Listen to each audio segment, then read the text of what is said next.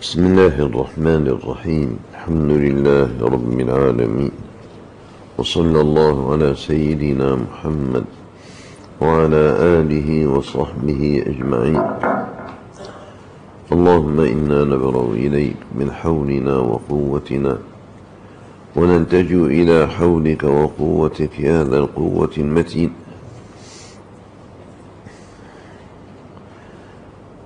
نفتتح اليوم بفضل الله وتوفيقه في أركان الصلاة.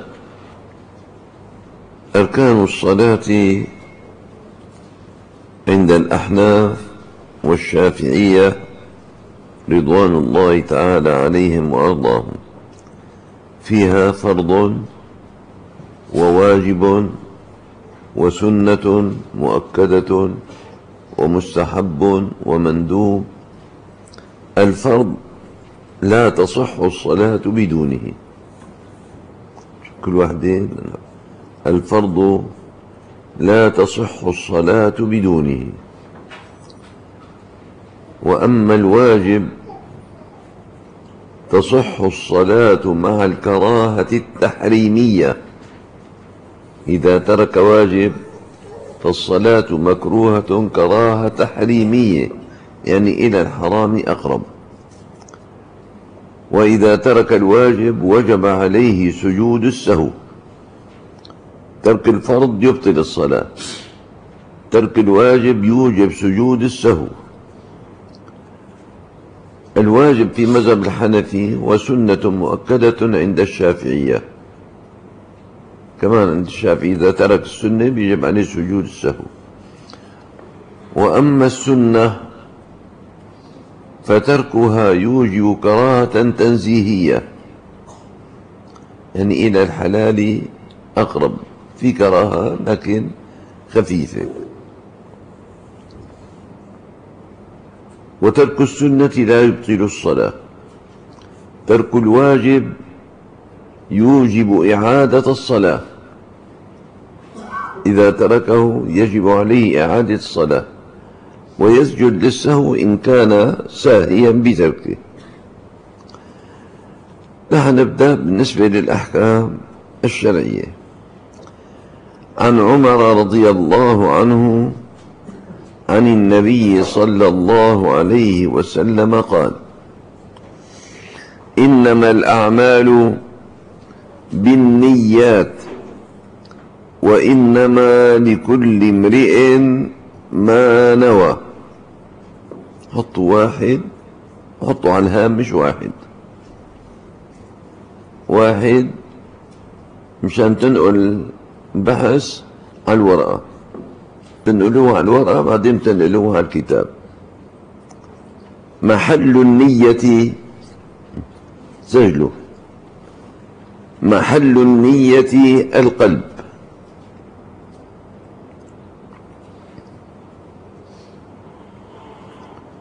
ويستحب أن يجمع بين القلب واللسان.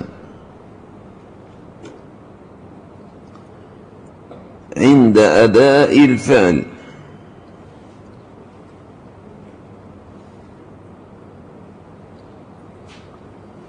لأن بالنية تتميز العبادة عن العادة.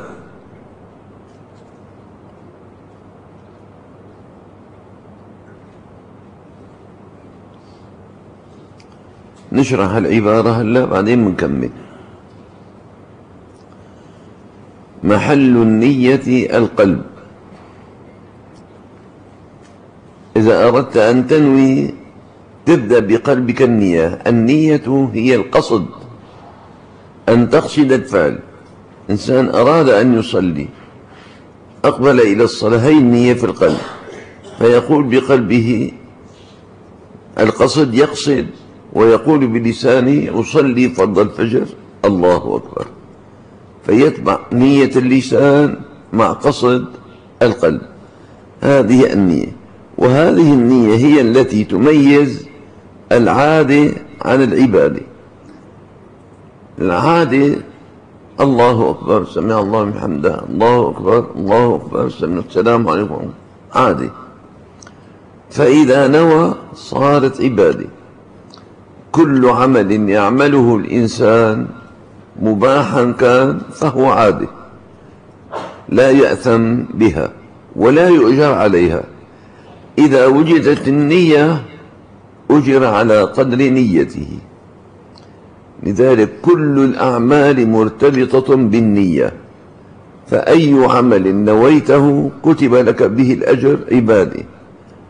وأي نية تركت نيته أي عمل تركت نيته فلا ثواب ولا أجر. فمثلا الصلاة عبادة. لو واحد قال الله أكبر من غير أن ينوي لم تكتب له هي عادة وليست عبادة. الطعام عادة لكن قال نويت التقوي على طاعة الله انقلب إلى عبادة. فالمباح بالنية ينقلب عبادة والعبادة بلا نية تنقلب عادة. فبيجي واحد دغري على الجامع الله أكبر. شو عم تصلي؟ بعض أوقات الإنسان بالنية بخربط بده ينوي الصبح يقول يصلي فرض الظهر الله نويت فرض الفجر. بده ينوي نية الظهر بينوي العصر بده ينوي الظهر بينوي الصبح. فبالنية بيخربط. فكيف إذا أجا ونوى دغري دغري كبر من غير نية؟ فالنية إذا حتى تميز العبادة عن العادة.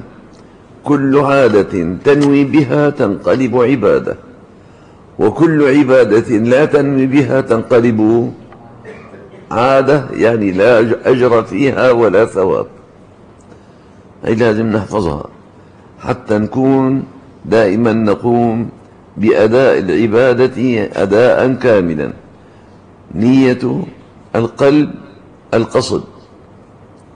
فنجمعها مع نية اللسان. نويت النية ممكن أن تقول نويت أصلي ممكن أن تقول أصلي لله. كلها نية. لكن في نية العوام بنوها وهي باطلة. العوام لما بنوا ونصلي لله تعالى العظيم فرض الصبح الحاضر نويت الله أكبر. هذه نية باطلة وصلاة غير صحيحة. هي أكثر العوام بنوها. صلي فرض الظهر حاضر نويت الله أكبر. نويت الله أكبر. هذه نية غير صحيحة. فبدأت النية نويت أصلي لله فرض الصبح الله أكبر. أن لا تقترن النية بالتكبير. اقتران النية بالتكبير يبطلها. لما عم يقول نويت الله أكبر. يعني نويت قول الله أكبر. ما قال الله أكبر؟ نوى أنه يقول الله أكبر فنيته باطلة. فلذلك نقول له صحح نيتك. أن تقول أصلي لله تعالى فرض الصبح الحاضر الله أكبر. النية لازم تكون في أول الكلام. نويت أو أصلي من غير أن يقول نويت أن أصلي لله فرض الصبح الله أكبر. صحت نيته. فهذه النية التي ينويها الإنسان النية شرط عند الأحناف والحنابلة رضي الله عنهم وبعض المالكية. شرط. الشرط لا تصح الصلاة بدونه الشرط ما كان قبل الصلاة. الشرط ما كان قبل الصلاة. لا تصح الصلاة بدونه. شرط عند الأحناف والحنابلة وبعض المالكية. وهي ركن عند الشافعية وبعض المالكية.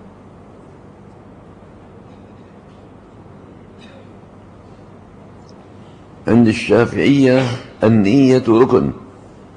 ركن يعني لا تقوم الصلاة بدونها. فلو واحد قال الله أكبر ما قال نويت أصلي فصلاته باطلة. غير صحيحة. يجب إعادتها. النية ركن عند الشافعية وبعض المالكية رضي الله تعالى عنهم وأرضاهم. أما عند الأحناف شرط صحة الصلاة أن تكون النية. إذا ما نوى فصلاته غير غير صحيحة. فشرط أو ركن مثل بعضهم البعض الصلاة غير صحيحة بغير نية.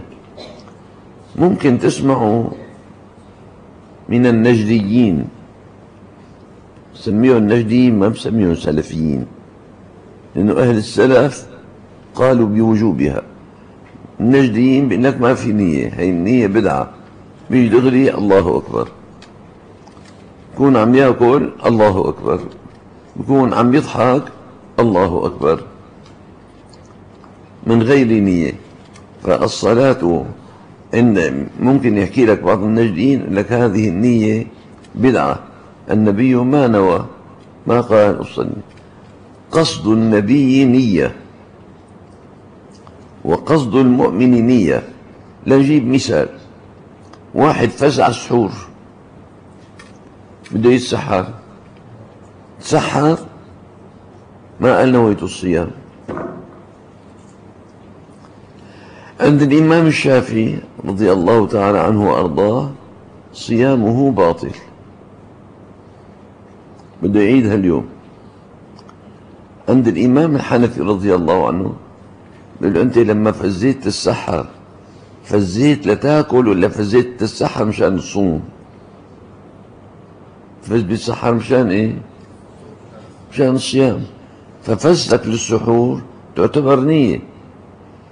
لكن مكروه لأنك لم تفرق بين العادة وبين العبادة. فإذا النية شرط عند الأحناف.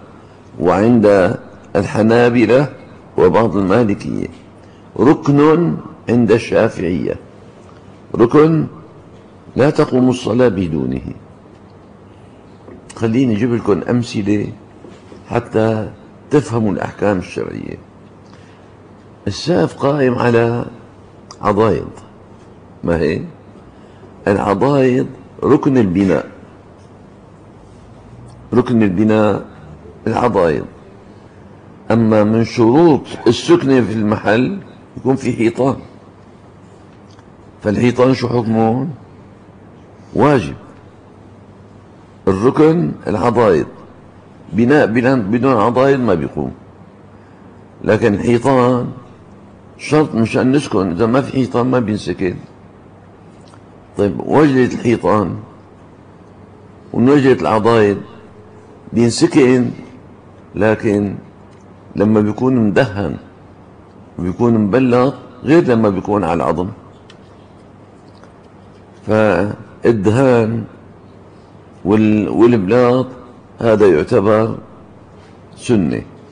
العضايض ركن والحيطان شرط يعني واجب والبلاط سنة مؤكدة عندها بصير بناء كامل.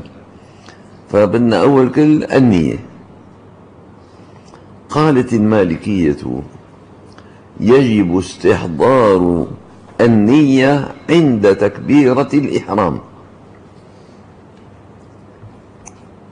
قالت المالكية يجب استحضار النية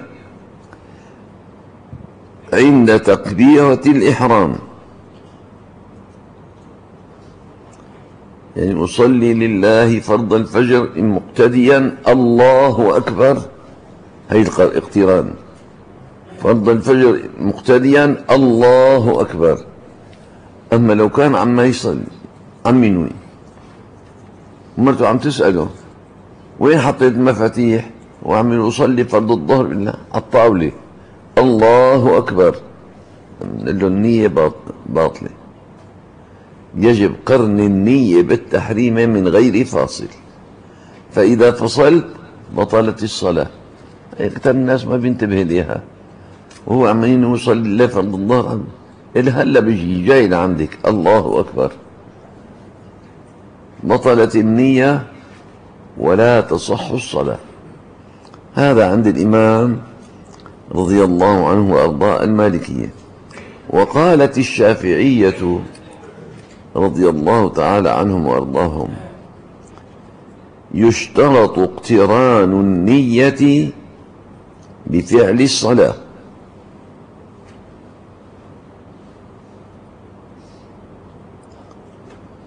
وكذلك عند الأحناف يشترط اتصال النية بالصلاة بلا فاصل أجنبي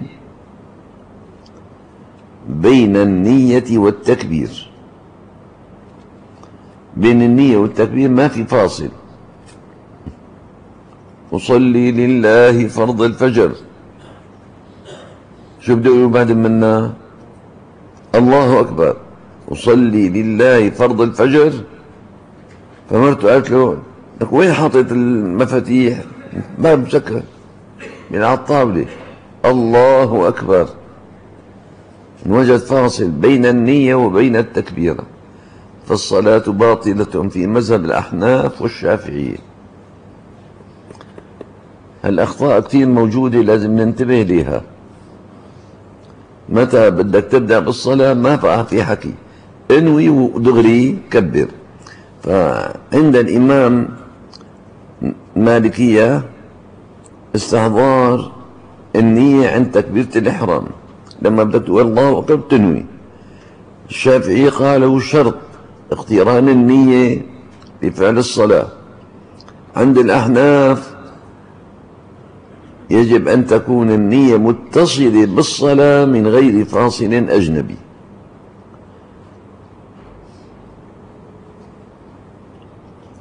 رضي الله تعالى عنهم وأرضاهم.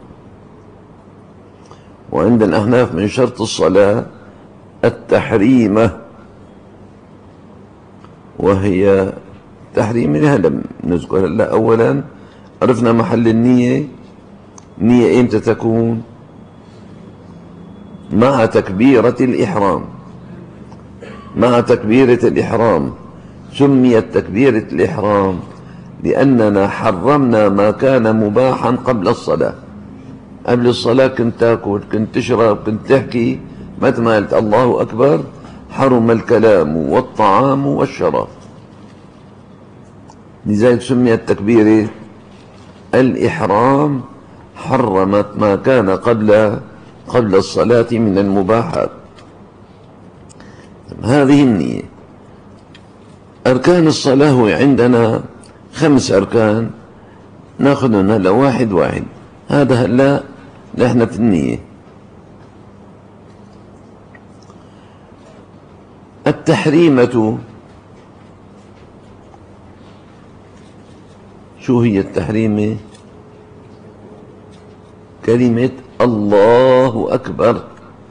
هالكلمة هي حرمت ما كان قبلها. كنت أحكي ما بقى في كلام. كنت تاكل ما في كلام. كنت ما في طعام. كنت تشرب ما في شرب. أصلي لله. فرض الفجر مقتديا الله أكبر. هكذا تكون النية. طيب التحريمة ركن.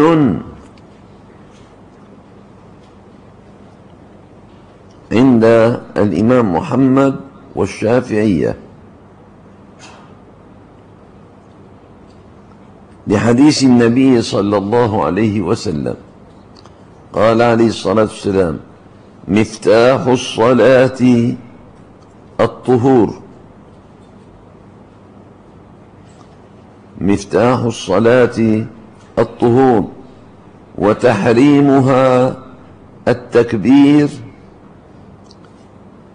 وتحليلها التسليم. مفتاح الصلاة الطهور أن يكون متوضئ. وتحريمها التكبير. متى ما قلت الله أكبر حرم ما كان قبلها من المباحات وتحليلها أنت بتحلل من الصلاة لما بيسلم. السلام عليكم ورحمة الله. السلام عليكم. حل لك كل شيء كان محرما عليك قبل الصلاة.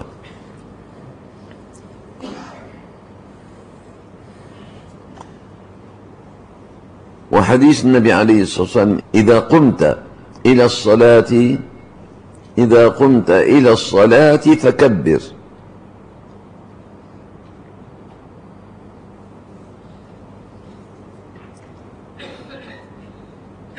حديث النبي عليه الصلاة والسلام أمر والأمر من النبي واجب ولكن الأمر من الله شو بيكون ركن. قال الله تعالى وربك فكبر. فإذا كان التكبير أمر إلهي فهو ركن من أركان من أركان الصلاة. فلو واحد أتى إلى الصلاة من غير تكبير فتكون صلاته في مذهب الشافعي والمالكي والحنبلي صلاته باطلة. مذهب الحنفي رضي الله عنه قال يصح الدخول في الصلاة بغير التكبير. فلو قال سبحان الله الحمد لله لا إله إلا الله وبدأ بالصلاة صحت صلاته في مذهب الحنفي. الشرط أن يدخل الصلاة بنية تعظيم لله سبحانه وتعالى. فقال سبحان الله الحمد لله الله أكبر الحمد لا إله إلا الله. كل ذلك دليل التكبير تعظيم لله تعالى فهذا صحيح في مذهب الحنفي ولكن باطل عند المذاهب الأخرى. لابد من كلمة الله أكبر. هذا النشيد النشيد الخالد هذا اللي دائما الله أكبر الله أكبر. ولو عرف المسلم الكلمة هي لما رأيته في هم ولا غم ولا كرب ولا ضيق ولا شدة. الله أكبر. الله أكبر. الله أكبر. دائما تلاقيه في حال سرور في حال بسط في حال مدام. الله أكبر. كل شيء في هذا الوجود لا وجود له. طيب فهذا بالنسبة الآن للتكبير.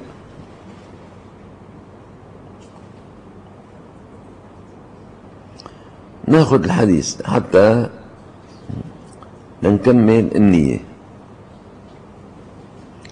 شو الخلاف بين الأحناف وبين الشافعية؟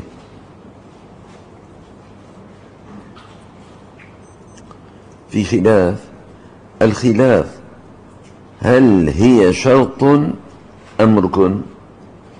هذا الخلاف. الشرط مكان قبل الصلاة الركن مكان ضمن الصلاة. فالعضايد ركن.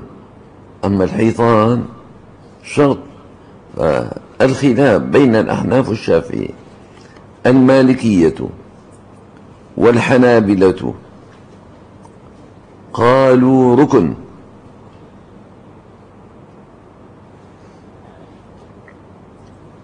وشرطها شرط النية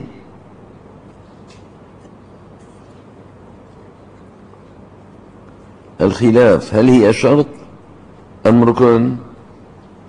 المالكية والحنابلة قالوا ركن وشرطها أن يأتي بها قائما مسمعا نفسه.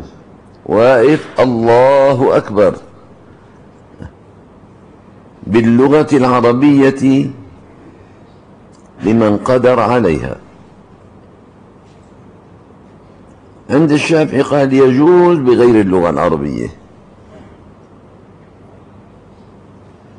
يعني التفصيل هذا مشان تعرفوا السعة عن المالكية والحنابلة قالوا بدها تكون باللغة العربية هو قائم.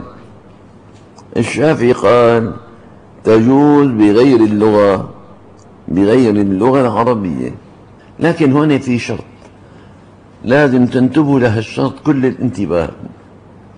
شرط نية الإحرام أن تكون قائما. الله أكبر. لكن بيجي واحد بده يلحق الصلاة يكون إمام راكب الله أكبر. قال له نيتك باطلة وصلاتك غير صحيحة. الله أكبر. وين جزم الراء؟ هو. هو راكع. صلاته باطلة. بيقول أقف أصلي فرض الفجر الله أكبر الله أكبر. أما إذا الله أكبر الصلاة باطلة. ولو صلوا عم يصلي خمسين سنة صلاته غير صحيحة. لا بد لتكبيرة الإحرام أن يأتي بها وهو قائم منتصب ويسمع نفسه. ما بده الله أكبر. هذا لما بده يصلي إمام. أما لحالك تقول الله أكبر. سمع نفسك فقط. فهذا من شروط النية عند الإمام المالكية والأحناف والشافعية. ولا يكون فصل بين النية وبين وبين كلام بين المبتدأ والخبر. الله أكبر. مبتدأ وخبر. أما إذا الله لا روح أكبر بطلت بطل التكبير. يكون متصل بالنية من غير فاصل. أصلي لله فرض الفجر مقتديا الله أكبر. أما لو ظهرت حركة أو ظهر كلمة بطلت النية وعليه أن يعيدها مرة ثانية. طيب.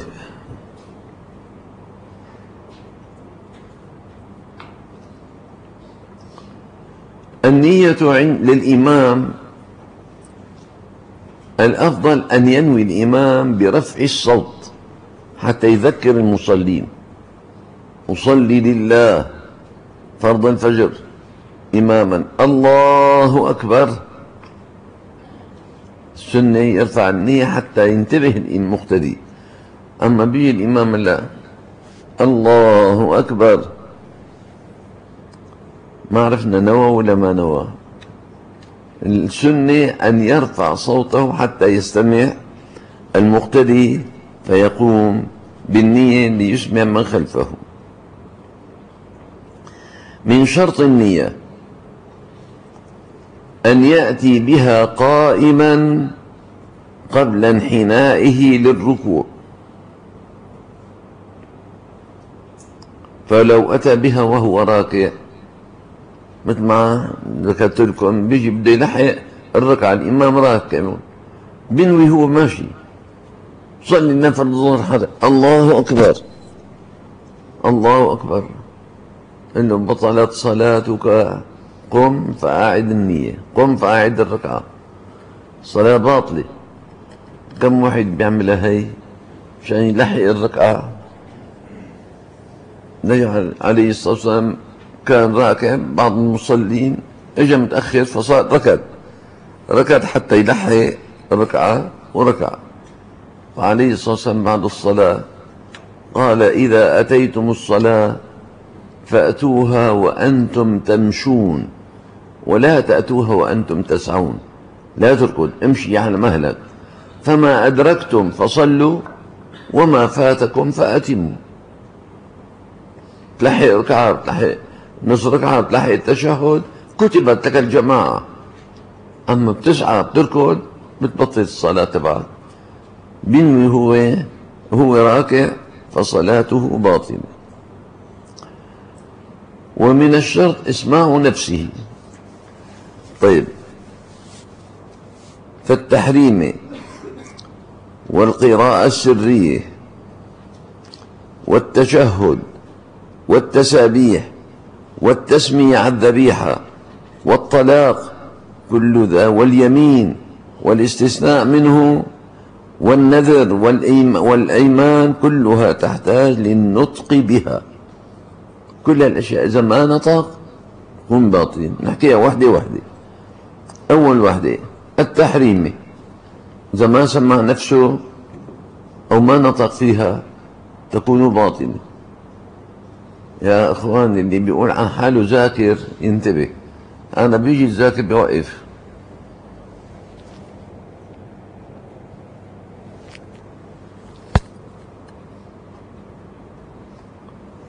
أكثر الأحباب اللي ما تفقه يا ابني. ذلك الفقه مجلس فقه بتصح عبادتك كلها. بيجي بينوي بقلبه. النية باطلة لازم تقول أصلي لله فرض الفجر. الله أكبر. سمي حالك. أما نواها بقلبه فالنية باطلة والتكبيرة باطلة والصلاة شو حكمها باطلة. فالنية بدك تسمع نفسك. هي وحدة. القراءة السرية ظهر وعصر. بدك تسمع نفسك. لا بتشوش على غيرك بحيث تسمع نفسك. الحمد لله رب العالمين. الرحمن الرحيم مالك يوم الدين. أنا عم بسمع. أنتم ما شرط تسمعوا فالقراءة بش... سمع نفسك. في بعض الناس بيقرأ بيجهر بخربط على اللي قدامه. الحمد لله رب العالمين. الرحمن الرحيم. مالك يوم الدين. يلي قدامه ما عاد عرف يقرأ. فبحيث أن يسمع نفسه فقط. يا سبحان الله كذلك قراءة التشهد. التحيات. مباركات. الصلوات الطيبات لله. السلام عليك أيها النبي. ورحمة الله وبركاته. تسمي حالك التشهد فلا بد أن يسمع الإنسان نفسه. والتسابيح. سبحان ربي العظيم سبحان ربي الأعلى. أما عما يقول بقلبه هذا باطل غير صحيح. والتسابيح والتسميع الذبيحة بده يذبح بده يضحي.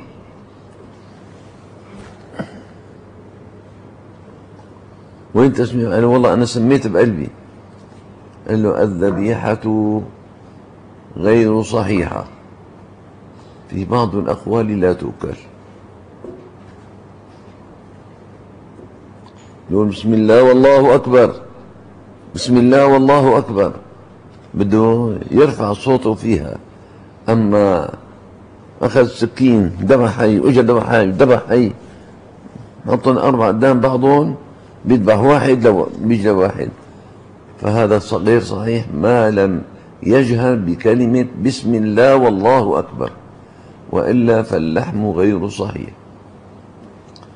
قال الله تعالى ولا تأكلوا مما لم يذكر اسم الله عليه وإنه لفسق لفسق لا يصح ما لم يسمي. فأن الأحناف رضي الله عنهم وأرضاهم قال المسلم ولو ما جهر لو ما جهر بالتسمية تؤكل ذبيحته. المسلم بيقول لا إله إلا الله. أما غير المسلم لا تؤكل ما لم يسمي. فلو طلع الصين في بلاد إسلامية أما لو كان في الصين في غير بلاد إسلامية شو حكم اللحم؟ لا يؤكل.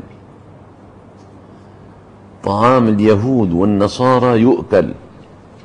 أما طعام البوذيين وطعام الثانيات اللي بيعبدوا النار هذول لا يؤكل طعامهم. فلو واحد راح لهنيك شو بده يأكل؟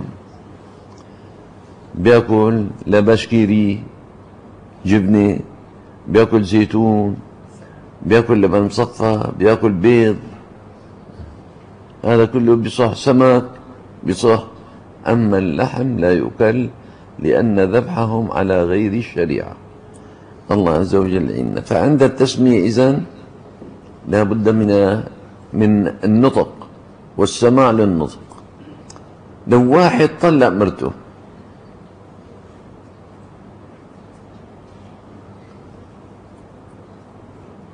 أي والله أنا طلعتها بقلبي. له هي مرتك غصبا عنك قاعدة على قلبك. الطلاق لا بد من اللفظ. فإذا عم يوقف يصلي الأحباب اللي بيوقفوا بيصلوا بيوقف بهالشكل أنا أكثر المصلين هيك بوقف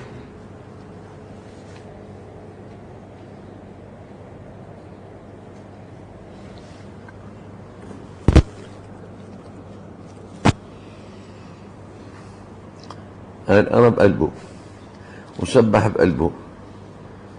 إن صلاتك باطلة عليك الإعادة لا بد من تحريك الشفتين لقول الله تعالى ما يلفظ من قول إلا لديه رقيب عتيد أما نية القلب أو القراءة بالقلب فلا تعتبر مطلقا. فلو طلق أو تزوج أو بقلبه فكله مردود. طيب واحد حلف يمين.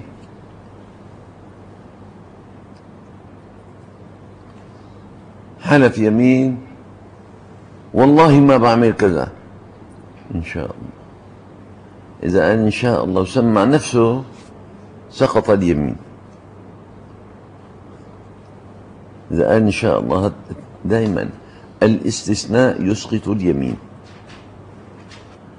فلازم يكون دائما اليمين مقيد بالعمل اللي بده يفعله. فالاستثناء إذا من اليمين بالقلب لا يقع. أما إذا سمع نفسه فهو واقع. واحد نذر نذر. نذر إنه يذبح عشر خواريف لكن نواهم بقلبه ما نوى بلسانه. ما في عليه النذر النذر غير صحيح لا يقع النذر. والأيمان كلها حلف يمين أنا حلفت يمين بقلبي لو حلف يمين بقلبك ما صحيح. الله كل ذلك يحتاج للنطق بها بحيث يسمع نفسه. فإن قالها سرا لا تصح.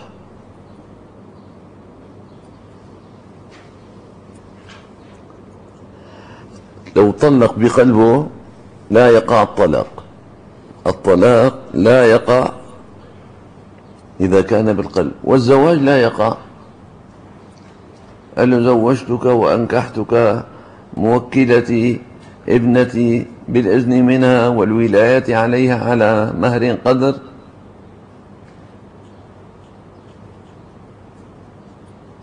وقبلته قال أنا قلت بقلبي العقد باطل. العقد باطل. لو دخل على زوجته لدخل في الحرام. لذلك بده يقول له قل له طلع بشه قل له قبلت منك زواج موكلتك على المهر المذكور. أما إذا أنا قلت بقلبي قبلته قل له عقدك باطل وزواجك غير صحيح. كل ذلك يحتاج للتلفظ به أن يقول الإنسان بحروف بلسانه. ومن شروط التحريم. هذا كله عم نحكي على التحريم نحن. من شروط التحريم التكبيرة نية المتابعة للمقتدي. نية متابعة للمقتدي. هذا من الشروط. صلي فرض الفجر مقتديا. الله أكبر. أما صلي فرض الفجر الله أكبر. ما أن مقتديا؟ اقتداء غير صحيح وليس لك ثواب الجماعة. مقتديا. ف وتعيين الفرض وتعيين الواجب. صلي فرض الظهر صلي فرض العصر صلي فرض الفجر وصلي صلاة الوتر. هذا الواجب. صلي سنة الظهر قبليه تعين السنة تعين الواجب تعين الفرض وإلا إذا ما كان في تعيين فصلاتك غير صحيحة. شو صليت يا أخونا؟ والله كنت بين السنة بين فرض صلينا بأنه صلاتك باطلة. فلا بد من تعيين الواجب أو تعيين السنة وتعيين الفرض. طيب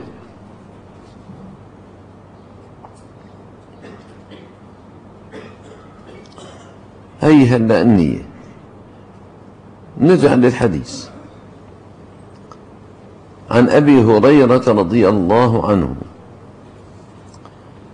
أن النبي صلى الله عليه وسلم دخل المسجد. فدخل رجل فصلى. ثم جاء فسلم على النبي صلى الله عليه وسلم. فرد النبي عليه السلام فقال ارجع فصلي فإنك لم تصلي. فصلى ثم جاء فسلم على النبي عليه الصلاة والسلام فقال ارجع فصلي فإنك لم تصلي. رد ثالث مرة قال له ارجع فصلي فإنك لم تصلي. فقال والذي بعثك بالحق ما أحسن غيره. ما بعرف غير هيك. فعلمني. فقال صلى الله عليه وسلم هي كل واحدة اللي حناخذ عليها بقى. أحكامها قال إذا قمت إلى الصلاة فكبر. ثم اقرأ ما تيسر معك من القرآن. ثم اركع حتى تطمئن راكعا ثم حتى تعتدل. ثم ارفع حتى تعتدل قائما. ثم اسجد حتى تطمئن ساجدا. ثم ارفع حتى تطمئن جالسا. ثم اسجد حتى تطمئن ساجدا ثم افعل ذلك في صلاتك كلها. فإذا فعلت هذا فقد تمت صلاتك. ومن تقصت من هذا من هذا شيئا فإنما انتقصته من صلاتك. نحن نشرحه وحدي وحدي. صلى الله عليه وسلم. هذا اجى رجل مستعجل فات على الجامع الدغري طج ركعتين وجه السلام عليكم يا سيدي يا رسول. قال وعليكم السلام. ارجع فصلي. رجع صلاتك ما صحيحة. رجع صلي. فهنا نبدأ بقوله صلى الله عليه وسلم. لما علمه إذا قمت إلى الصلاة فكبر. اتفق الفقهاء على خمسة أركان. في الصلاة خمسة أركان. اتفق الفقهاء على خمسة أركان. القيام والقراءة والركوع والسجود والتشهد الأخير. هذول عضايد الصلاة أركان الصلاة. لو ترك واحدة منهم فالصلاة غير صحيحة. القيام نحن نبدأ بأول القيام. القيام في الصلوات المفروضة والواجبة. القيام في الصلوات المفروضة والواجبة. لقول الله تعالى وقوموا لله قانتين قوموا فرض من الله تعالى. والأمر للوجوب.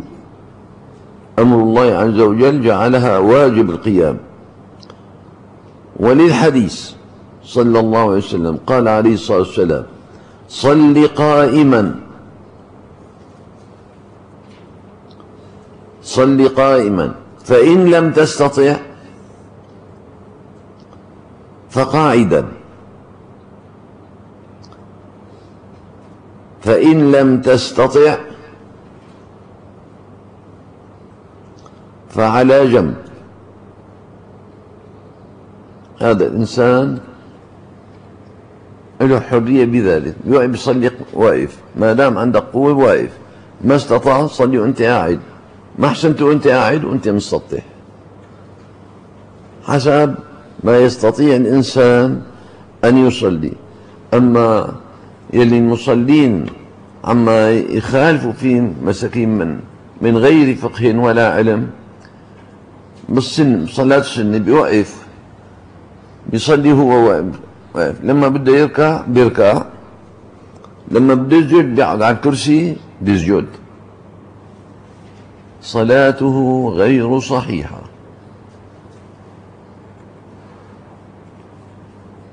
كم واحد اللي عم يصلوا على الكراسي؟ عم يعمل هيك.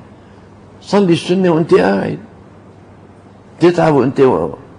ما بتستطيع تسجد صلي وانت قاعد صلاة السنن قاعدا في كل المذاهب مقبولة. صلي قاعد. أما الفرض بده يفز فإذا ركع بده يكون ركوعه أقل من السجود. أما اللي صاير بيركع لتحت بيسجد لما بيقعد على الكرسي بيعمل هيك. أنو منخفض أكثر الركوع ولا السجود؟ الركوع فالصلاة باطلة. فبنقول له إذا ما تستطيع تركع وتسجد أديت القيام قراءة وأنت قائم. عود تركع بهالشكل. سمع الله ما حمده تسجد بهالشكل. ما شرط انحناء الظهر كمان. بالرأس لو بالرأس. الله أكبر. سبحان ربي العظيم. سمع الله من حمده. الله أكبر. سبحان الله الصلاة صحيحة لا يكلف الله نفسا إلا وسعها. ما بتحسن على الواقف؟ صلي على القاعد ما بتحسن على القاعد صلي وأنت مسطح والصلاة والصلاة صحيحة. القيام شو هو؟ القيام انتصاب الجسم واعتدال القائم القامة عند التكبير إنه ارفع ظهرك ارفع راسك كبر. لكن ظهره محني. الله أكبر. إلا إذا بلغ انحناء الظهر كالركوع. هنا ظهره صار هيك فهذا شلون بده يكبر؟ لو بده يرفع راسه ما ما بيرتفع. فهذا يسمح له بكبر على حاله. أما واحد ظهره قائم ويحني بده يكبر الله أكبر. بقول له بدك درة سيدنا عمر. بتدر على رقبته. ارفع رأسك. الخشوع بالقلب لا بالرأس. ما بصح الواحد يطخي راسه وهو عم يكبر التكبيرة يجب دائما أن تكون من منتصب والرأس قائم. الله أكبر. أما الانحناء عند القراءة واقف ما عندي شيء. انتبهوا بس عند الانحناء عند التكبيرة. ما حد يجي الله أكبر. الله أكبر. له يا ابني تكبيرة غير صحيح. فلا بد من انتصاب الجسم واعتدال القائمة ولا يضر الانحناء القليل ولا إطلاق الرأس. هذا عند الجميع. قدر القيام عند الأحناف. قديش بده يوقف قدر قراءة آية. بده يصلي. الله أكبر. قل هو الله أحد. الله أكبر. صحت الصلاة. صحت الصلاة. واحد دخل في الإسلام جديد. علمه آية واحدة. قال له قرأ فيها. لو قرأ بالأربع ركعات صحيحة. قل هو الله الله الصمد. ركع. هذا من در قيام. عند الإمام أبو حنيفة رضي الله عنه وأرضاه. بعد تكبيرة الإحرام أن يقرأ ولو آية. أما عند الشافعية والحنابلة قراءة الفاتحة فرض. أن يقرأ الفاتحة فرض بعد تكبيرة الإحرام. أما السورة فهي سنة. فلو قال غير المغضوب عليهم ولا الضالين. آمين. الله أكبر. صحت صلاته مع الكراهة.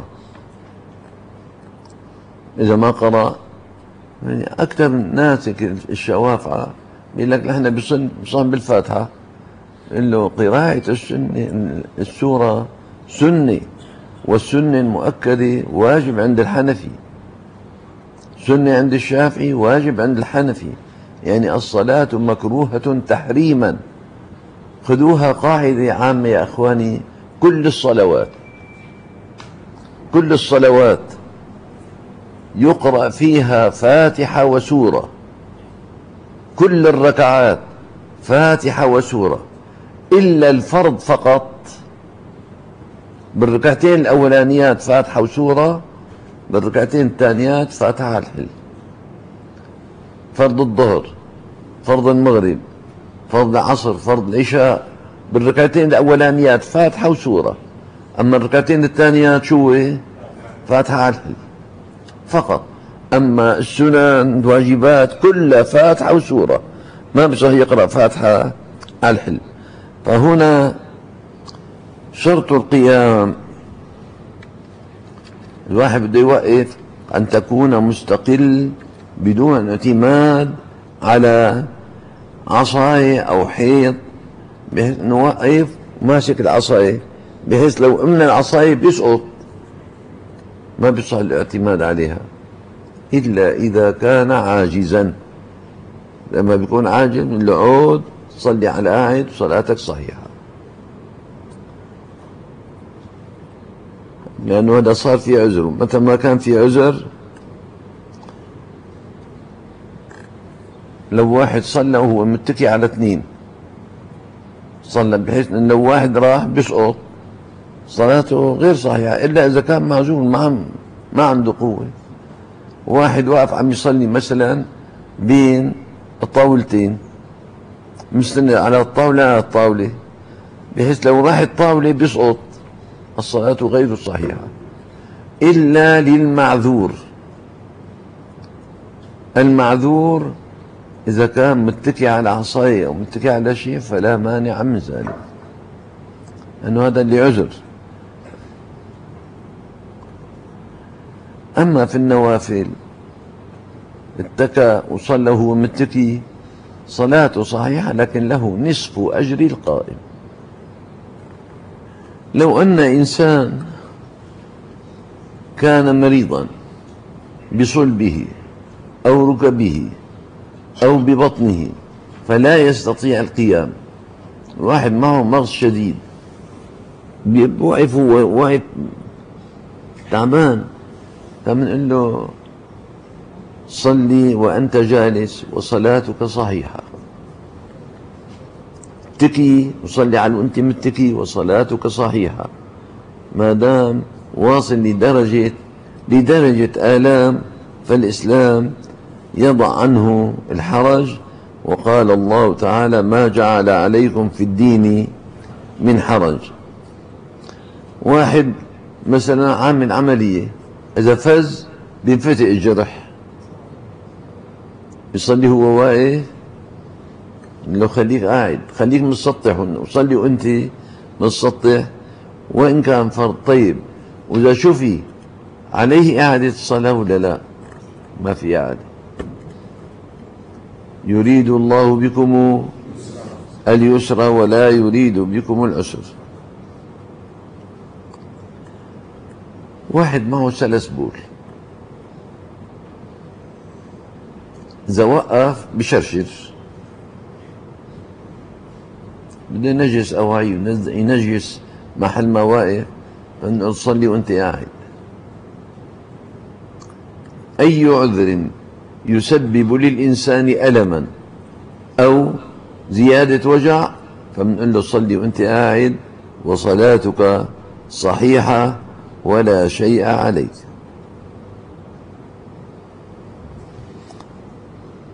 طيب هلا أنتو بزماننا هلا طلعت موضة البنطلون الضيق. الله أكبر. انفتح البنطلون من ورا.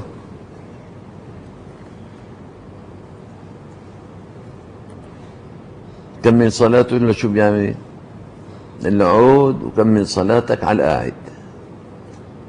والصلاة شو بتكون؟ صحيحة. أما إذا بده يكمل الصلاة هو مفتوح. يكون انفتح 2 سنتي بصير ينفتح 10 سنتي. فنقول له صلي وأنت قاعد. والصلاة صحيحة. هي من أمراض الزمن. يعني ما ما في علة ما في عذر واحد يترك الصلاة. واحد واقف عم يصلي بالبستان اجى الهواء شد اواعيه تعلقت بالشوكة انشرعت. فبنقول له عود كمل صلاتك على القاعد إذا بده يركع ويسجد ما بقى في مجال. فكل ذلك الإسلام حتى ما تضيع من دينك ولا لحظة. ما جعل لك ما جعل عليكم في الدين من حرج. جل جلال الله. طيب هذا هلا فقال صلى الله عليه وسلم إذا قمت إلى الصلاة فكبر. هذه القيام أخذنا. طيب ثم قرأ ما تيسر معك. ثم قرأ ما تيسر معك من القرآن. القراءة للقادر عليها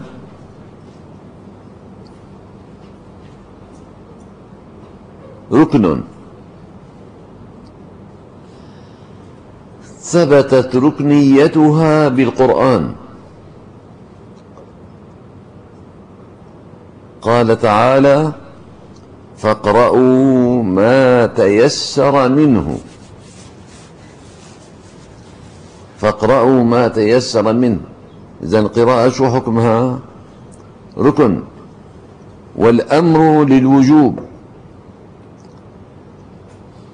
لأن القراءة خارج الصلاة لا تجب. والآية فاقرأوا ما تيسر منه. فإذا وجبت القراءة تعين وجوب القراءة في الصلاة. وفي السنة قال صلى الله عليه وسلم لا صلاة إلا بقراءة. لا صلاة إلا بقراءة. رواه الإمام مسلم. فلو صلى من غير قراءة شو حكم الصلاة؟ باطلة هلا نشرحها بقى عند المذاهب. هي القاعدة العامة. حديث النبي عليه الصلاة والسلام وآية القرآن. فاقرأوا ما تيسر منه ولا صلاة إلا بقراءة. حكم القراءة. عند الأحناف حكم القراءة. عند الأحناف فرض وليست بركن.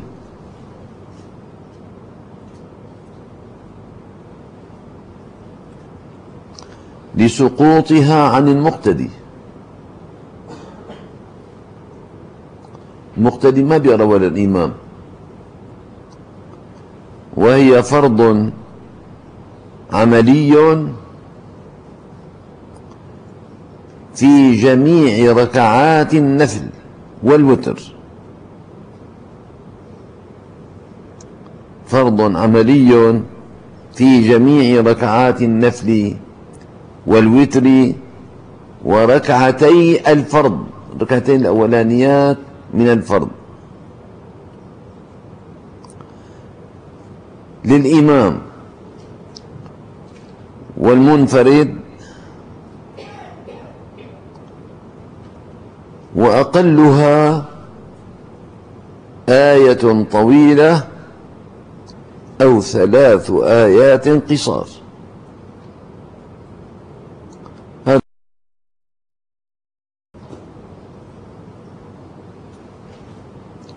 إذا القراءة فرض وليست بركن. يعني ما دام مقتدي ما بيقرا ليش المقتدي ما بيقرا مذهب الإمام الحنفي الإمام لكم ضامن يرفع عنكم قراءتكم وسهوكم هذا ما أخذ به أبو حنيفة.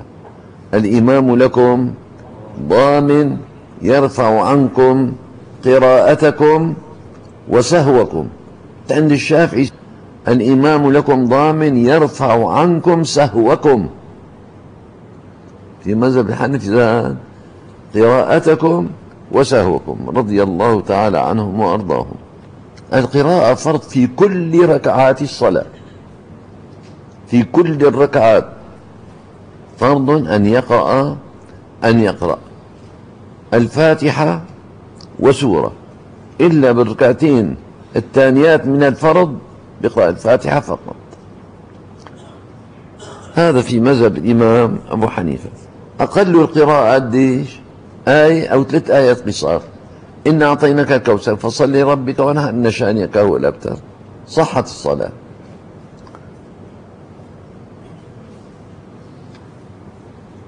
فلو قرأ الفاتحة وركع صحت الصلاة مع كراهة التحريم. يجب عليه سجود السهو إن كان ساهيا. وإعادة الصلاة إن كان صاحيا. هذا المذهب الحنفي. الحنفي يفهم الحكم. هلا بنحكي على الشافعي؟ الحنفي إذا قرأ الفاتحة فقط وركع وهو ساهي بيجب عليه سجود السهو. أما إذا كان صاحي وجب عليه إعادة الصلاة. طيب هذا في كل ركعات في كل الركعات. رضي الله عنه وعند الجمهور مين صفي الجمهور عنا؟ الشافعية والحنابلة والمالكية. وعند الجمهور ركن القراءة الواجبة في الصلاة. ركن القراءة الواجبة في الصلاة. سورة الفاتحة.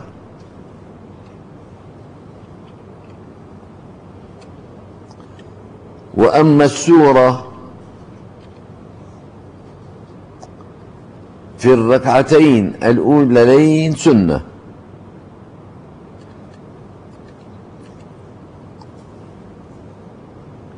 أخذ بحديث النبي عليه الصلاة والسلام بيجي معنا لا صلاة إلا بفاتحة الكتاب. صلاة غير صحيحة إلا إذا قرأ الفاتحة. هذا أخذ به الشافعية رضي الله عنهم. فإذا القراءة الواجبة في الصلاة أن يقرأ الفاتحة. الإمام والمنفرد والمقتدي. قراءة الفاتحة. وهي فيها يا أخوان ما أنه ثبتت في صحيح البخاري ومسلم فالقراءة صارت واجبة علينا جميعا. قول الإمام أبو حنيفة على العين والرأس. بس نحن ثبت عندنا الآن الحديث الصحيح بقراءة الفاتحة وكل صلاة لا يقرأ فيها بالحمد لله فهي خداج فهي خداج فهي لعب بلعب بلعب. فلا بد من قراءة الفاتحة. الحنفي والشافعي. أبو حنيفة قال لا تقرأ الفاتحة؟ الإمام بيقرأ. ليش يا إمام؟ قال أما سمعتم الله تعالى يقول فإذا قرئ القرآن فاستمعوا له وأنصتوا. الله عم يؤمر أمر. قال له إيه طيب؟ استمعوا له وأنصتوا. وقراءة الفاتحة يلي النبي عم يشدد فيها. قال الإمام بيحمل عنك الإمام لكم ضامن يضمن عنكم قراءتكم وسهوكم. شلون بدنا نطبق بين الحنفي والشافعي؟ وجدت مخرجا لهذا بفضل الله وبتوفيقه. وبعد ما حكمت الحكم وكتبت بحكم عم بقرأ كتاب للأصفهاني رضي الله عنه وإذا به يقول مثل القول اللي أنا قلته. بعد ما حكمت الحكم. المقتدي يقرأ الفاتحة مع فاتحة الإمام. تقرأ فاتحتك مع فاتحته. تختلف هي عن هي؟ فاتحة بتختلف تقرأ فاتحتك مع فاتحة الإمام ثم تنصت للقراءة. فوافقت الإمام الحنفي ووافقت الإمام الشافعي. الإمام الحنفي تنصت للقراءة أنصتت الإمام الشافعي تقرأ الفاتحة قرأت الفاتحة. فجمعت بين الأحناف والشافعية. فإذا القراءة في مذهب الإمام الشافعية تتعين القراءة الواجبة في الصلاة. طيب. تتعين قراءة الفاتحة.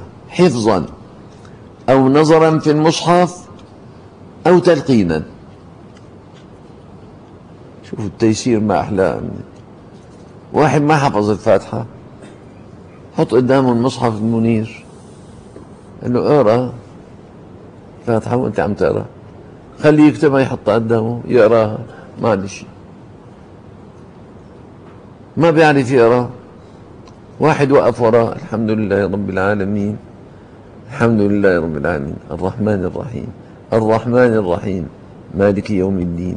مالك يوم الدين. كمان الصلاة صحيحة. إما أنه يلقنه واحد أو تكون مكتوبة قدامه أو بيقراها غيبا. في عذر بقى؟ في عذر عن ترك الفاتحة؟ يلي ما بيعرف يكون جاهل. هي الأحكام الشرعية. فقال تعيين قراءة الفاتحة حفظا أو نظرا في المصحف أو تلقينا لو واحد لقنه صح. هذا عند الإمام الشافعي الله يرضى عنهم عند المالكية والحنابلة. يقرأ المأموم في الصلاة السرية الفاتحة والسورة. ولا يقرأ في الجهرية شيئا وراء الإمام. الله يرضى عنهم. بس بالصلاة السرية ظهر وعصر. تقرأ فاتحة وسورة. أما صبح ومغرب وعشي ما بيقرأ ولا الإمام شيء. يعني وافق الإمام الحنفي المالكية والحنابلة وافقوا الأحناف بعدم القراءة وراء الإمام. وعند الحنابلة إذا لم يسمع القراءة لصمم أطرش ما بيسمع. أو بعد الإمام عنه ما سمع قراءته فله القراءة لعدم حصول السماع واحد عم يصلي مثلا عم نقتدي بالإمام. مقتدين بالإمام. انقطعت الكهرباء ما عندنا اسمها قراءة الإمام. عم يقول إياك نعبد انقطعت القراءة بنكمل القراية لحالنا. إياك نعبد وإياك نستعين اهدنا الصراط المستقيم. بنكمل القراءة. لحالنا فهون لا مانع من القراءة لأنك ما عم تسمع منع القراءة للسماع. فلما تعطل السماع جازت لك القراءة.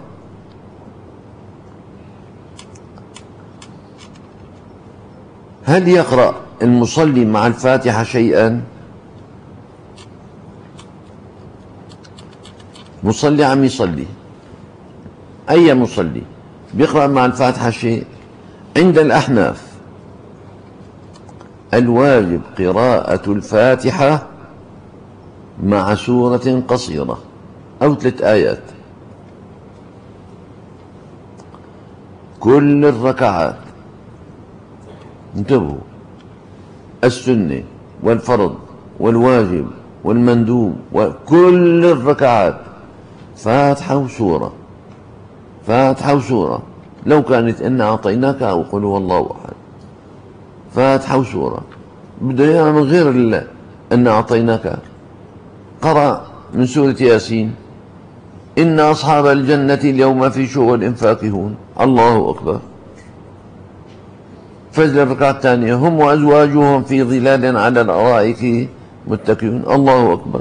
صحت الصلاة. صلاة صحيحة. إن الذين آمنوا وعملوا الصالحات كانت لهم جنات في الدرس نزلا. الله أكبر. فجر الثانية خالدين فيها لا يبغون عنها حولا. الله أكبر. صحت الصلاة. فاتحة وسورة أو فاتحة وآية طويلة. هذا عند الأحناف. أما عند الشافعية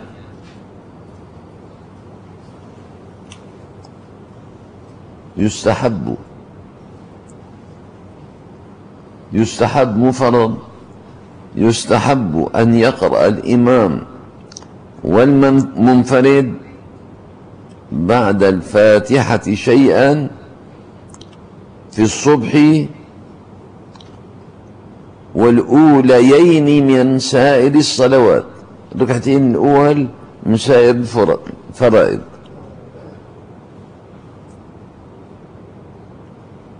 هذا يجمع مع الفاتحة؟ مع الفاتحة آية أو سورة. وأوجب الإمام الشافعي رضي الله عنه قراءة الفاتحة في كل ركعة من ركعات الصلاة. سواء كانت فرضا أو نفلا للإمام والمأموم. الفاتحة فرض في كل الركعات. هذا مذهب الشافعي.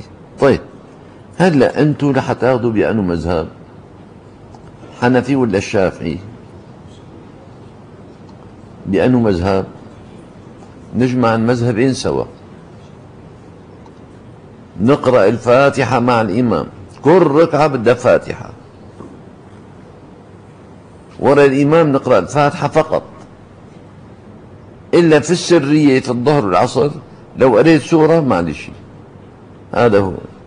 أما بقية الصلوات تقرأ الفاتحة ومعها سورة إلا مع الإمام فاتحة عشر كون جمعنا بين أحناف الشافعية كلهم والصلاة صحيحة.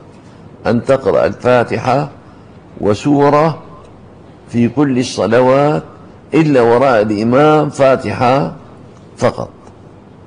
طيب. إذا قمت إلى الصلاة هذا الحديث نرجع له. إذا قمت إلى الصلاة فكبر. ثم اقرأ ما تيسر معك من القرآن. ثم اركع. وهذا الركن هذا الركن الثالث ثم اركع. الركوع. شو هذا الركوع؟ الركوع. انحناء الظهر بحيث أن تصل اليدين إلى الركبتين. متى ما وصلت إيدتين للركبتين هذا الركوع. أما في ناس بيركعوا ركوع غير هيك بيركعوا هيك شوية بينحني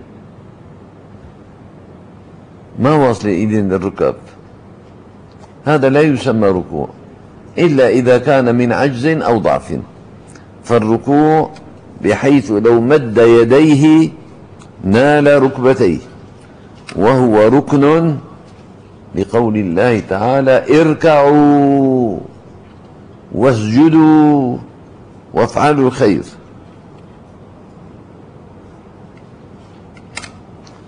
هذا الركوع ركن وفيه ركن. ركن وفيه ركن. الركوع ركن وفيه ركن الطمأنينة.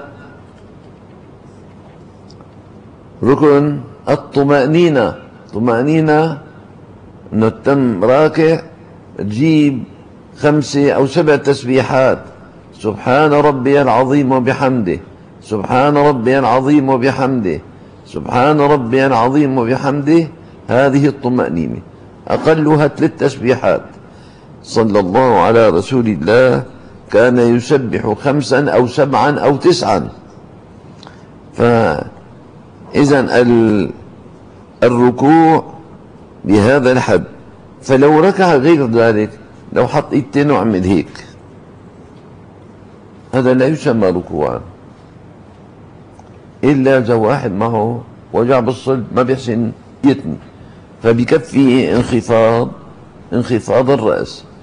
أما واحد قوي صحيح بيعمل هيك بيركع ركوعك باطل وصلاتك باطلة فالركوع أن تصل اليدين إلى الركبتين ولا يصح تفريج الأصابع إلا في الركوع. كل الصلاة الإصابع مضمومة إلا في الركوع بتفرج أصابيعك وبتمسك الركبة. منتبهين هذا فقط في الركوع في السجود ضابب بإيد أصابيعك في التشهد ضابب بأصابيعك أما تعمل هيك وأنت عم تشهد أو أنت في السجود خطأ. ضب الأصابع في كل الصلاة إلا في الركوع بنفرج الأصابع وبنمسك الركبة وبنشد إيدينا. بصير الظهر مستوي وهذا الركوع الصحيح. والطمأنينة في الركوع ركن عند الشافعية رضي الله عنهم. لهذا الحديث اللي عم نقرأه. ارجع فصلي فإنك لم تصلي. ارجع فصلي فإنك لم تصلي. أنه ما أتقن. فإذا ركعت ثم اركع حتى تطمئن راكعا. فالطمأنينة ركن في بركن. الركن هو الركوع والطمأنينة ركن فيه. فاللي ما بيركع بطمأنينة فصلاته باطلة. في ناس بيركعوا بهالشكل. هذا الركوع باطل لغير المعذور. أما إذا معذور جائز. معه صلب صلب وجع ما بيحسن يركع أكثر من هيك هذا معذور. الطمأنينة في الركوع بده يكون مطمئن. يجيب ثلاث تسبيحات وهو راكع. أما اللي بيعمل الله أكبر. سبحان الله العظيم. سمع الله الله أكبر. صلاته باطلة. لو بيصلي مئة سنة صلاته باطلة. الطمأنينة في الركوع. ثم اركع حتى تطمئن راكعا. بدك تم حتى تجيب ثلاث تسبيح أقل شيء. النبي لما عليه الصلاة والسلام أتى بالتسبيح, بالتسبيح قال أقلها ثلاث أدناها ثلاث. بدك تجيب خمسة أو سبعة خاصة الإمام لما بيسجد في ورا منه اختيارية لحتى ينزل للأرض بده بده دقيقة ليصل للأرض. هو بيقول سبحان ربي على سبحان ربي على سبحان الله أكبر. لسه ما وصل جبهته للأرض مع سبحان ربي الأعلى فلذلك لازم الإمام يجيب أقل ما يكون خمس تسبيحات أو سبع تسبيحات حتى العاجز اللي وراه يلحق السجود. فيطمئن راكعا ثم ارفع حتى تطمئن رافعا. سمع الله لمن حمده. اللهم ربنا ولك الحمد حمدا كثيرا طيبا مباركا فيه. الله أكبر بينزل السجود. أما الله أكبر. سبحان ربي العظيم سبحان ربي العظيم. سمع الله لمن حمده الله أكبر. صلاته باطلة. وهذا أكثر الناس مساكين. صلاته ما غير صحيحة. حطينا لهم أوراق. احذر أن تسابق الإمام صلاتك باطلة. ما في فائدة. بيصلي بيشبه الإمام بيركع مع الإمام بيرفع مع الإمام صلاتك باطلة يعني. بين الركوع الصحيح وبين غير الصحيح لحظة. شرف يا إمامنا صلي فينا لك. حتى صلي إمام. وأنا بقتدي فيك. بدكم تشوفوا شايفيني أنتو؟ اركع قدامي لحتى أشوف؟ الله أكبر. جزم الراء الله أكبر. سبحان ربي العظيم سبحان ربي العظيم سبحان ربي العظيم. سمع الله لمن حمده. اللهم ربنا ولك الحمد. بعد ما هو فاز أنفذ أما اركع ركوع ثاني. الله الله أكبر. هي الصلاة باطلة. ركعت مع منه. عيد. الله الله أكبر. سبحان ربي العظيم. سبحان الله الله اللهم ربنا صلاتي باطلة. لأنه وافقته بالركوع وافقته بالسجود بالقيام. أما بعد ما هو بيركع ببدأ أنا الركوع. بعد ما بيرفع ببدأ الرفع. هذه الصلاة الصحيحة. لنعيد لكم إياها. الصلاة الصحيحة. الله أكبر. الله أكبر. سبحان ربي العظيم. بحمده سمع الله لمن حمده. اللهم ربنا ولك الحمد. هذه الصلاة الصحيحة لازم الواحد يتعود. بين هي وبين هي ثانية ثانية خلي الإمام يركع بعدين أنت اركع أما بتركع معه وبترفع معه وبتسجد معه الصلاة باطلة في المذاهب كلها. كمان لما الواحد عم يصلي لحاله. إذا ركعت فاطمئن راكعا. هالعجل بالصلاة هي لازم نبطلها كلياتنا. الله أكبر سمع ربنا الله أكبر الله أكبر. هي صلاة كلها باطلة ولا تصح تفضل. هي في مذهب الحن في مذهب الإمام الشافعي الطمأنينة ركن. وهي في مذهب الحنفي واجبة. الطمأنينة واجب. واجب بمقدار الركن. ما في خلاف بينهما. إذا كان ما اطمأنيت كمان عند الحنفي صلاتك باطلة. فالصلاة عند الأحناف عند الشافعية عند المالكية عند الحنابلة الصلاة باطلة. يلي بيستعجل. وما بيهيئ الركوع منيح والرفع منيح صلاته باطلة. طيب. أما حكم التكبير للركوع والسجود الله أكبر سمع الله لمن حمده الله أكبر. هذا سنة. حكمه حكمه سنة. كان النبي عليه الصلاة والسلام إذا ركع كبر وإذا رفع قال سمع الله لمن حمده وإذا سجد كبر وإذا رفع كبر. كله كان يكبر النبي صلى الله عليه وسلم في صلاته.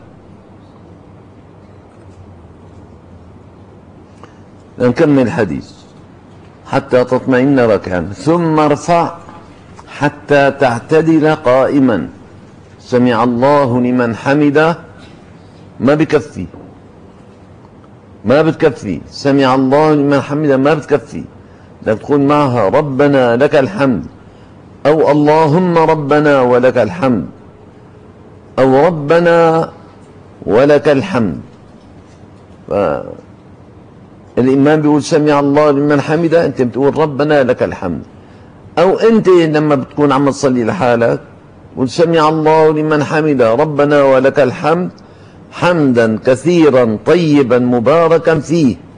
هذا الذي يقال بعد الرفع من الركوع ربنا ولك الحمد حمدا كثيرا طيبا مباركا فيه. زاد عند الشافعية مباركا فيه حمدا كثيرا طيبا مباركا ملء السماوات وملء الأرض وملء ما شئت من شيء بعد. وزاد في صلاة النافلة لحاله لما بيصلي أهل الثناء والمجد كلنا لك عبد أحق ما قال العبد وكلنا لك عبد لا مانع لما أعطيت ولا معطي لما منعت ولا راد لما قضيت. ولا ينفع ذا الجد منك الجد ولا حول ولا قوة إلا بالله. هذا لما بيصلي لحاله. لما بيصلي لحاله. طيب مات الحديث. ثم اسجد.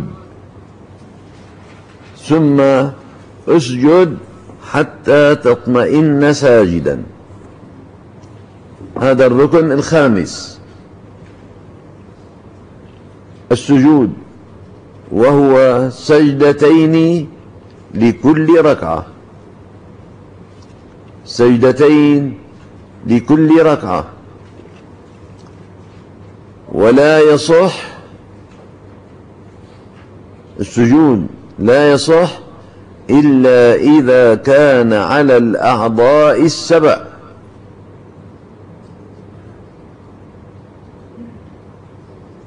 قال صلى الله تعالى عليه وسلم أمرت أن أسجد على سبعة أعظم. سبع عظام يسجد على الأرض. سبعة الجبهة والأنف واحد.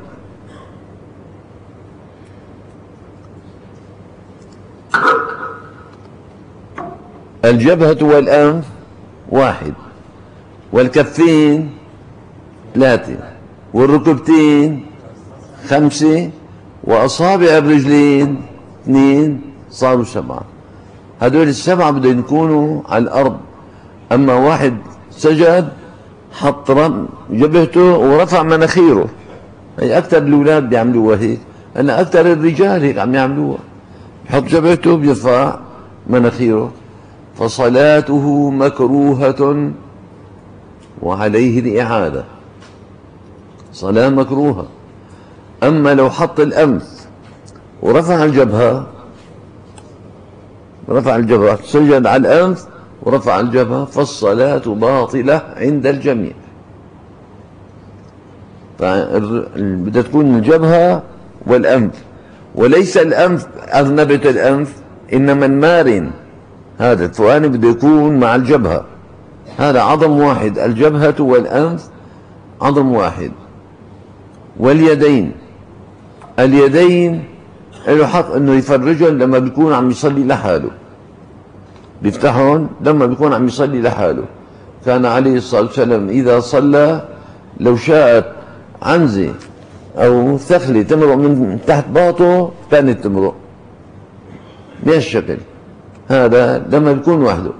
لما بيكون مع الجماعة بيضب إيديه على شرط المرفق ما يصل للأرض انتبهوا هذا الشرط.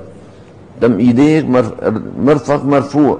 لو جمعت إيديك دم المرفق مرفوع. أما إذا حط إيدتين هيك دق المرفق اللي عوام بيقولوا عنه كوع. إذا دق بالأرض فالصلاة مكروهة تحريما. هذا سجود يشبه جلسة الكلب. الكلب بيحط إيده هيك فانت ما بصح بالسجود تحط ايدتينك هيك بدك ترفع ترفع المرفقين. هذا وهذا يرتفعوا عن الأرض حتى يكون السجود صحيح. فأول وحدة اذا لما بدك تسجد سبع أعضاء. الجبهة مع الأنف. واحد. بده يكون السجود محل آسي. أما إذا كان طري فالصلاة غير صحيحة. مثل اللي بيصلي على السفنج. كل ما طخ كل ما كبس رأسه بينزل. صلاته باطلة. لا تصح. بده يكون محل السجود محل آسي. ما يكون. شرط ثاني ما يتحرك. محل السجود ما يتحرك بحركتك. أما إذا تحرك بحركتك فالصلاة باطلة. مثل اللي بيحط السلك على راسه. أو الجبهة حطينا الطائر سجد السجود. هذا في حائل بينه وبين الأرض والحائل عم يتحرك فالصلاة باطلة. لو أنت عم تسجد إجا طرف العباية تحت جبهتك. وقمت فز بطلت الصلاة. بده يكون محل السجود ثابت وقاسي بحيث لو سجد ما يهبط ما ينزل. هذا كمان من شرط السجود. وصلى الله على سيدنا محمد.